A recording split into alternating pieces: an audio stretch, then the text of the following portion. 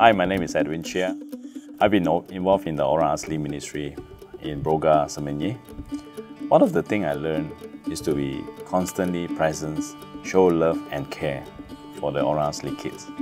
We are nobody, just normal people, and just go there with bare hands and do what we can.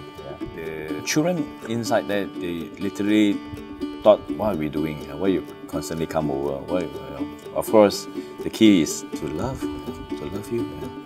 And of course, they, they were puzzled. But years later, they start to open up. Yeah. They start to share many stuffs in, in their kampong, yeah. what's happening, this and that. Of course, now we are the six years uh, in there, and practically we are like buddies. Yeah. Uh, we know each other well.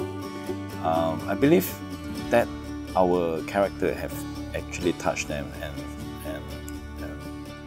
and they too felt, felt our love, Christ's love. And one of the things I experienced when I step out, I get to see God at work. Someone told me Orang Asli ministry is an uphill task. Eh? I remember that very well.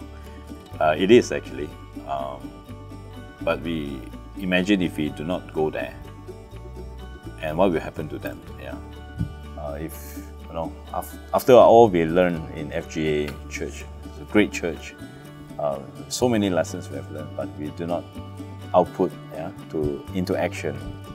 Then it's sort of like you know, did not put into use. Yeah. God's love is the main thing. God's love put into action